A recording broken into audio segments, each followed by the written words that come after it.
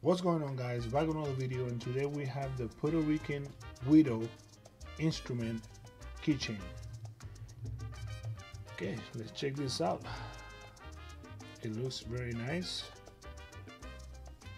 This is an instrument that Puerto Rican uses to play salsa merengue. Okay, we have right here the Puerto Rican flag. Check that out. Boricuas, Puerto Ricans, Puerto Rico. Okay, check this out. Here's the actual keychain right here. Let's see how big is it. It's like uh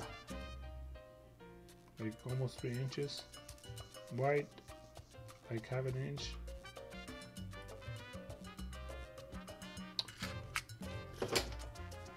Nice. It's made of uh, poly resin.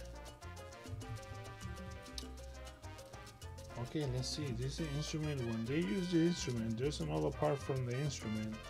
It goes like this. Start crushing the surface of the guiro. There you go. Nice. There you have it, guys. The guiro keychain. Don't forget to subscribe, like, and comment on this video.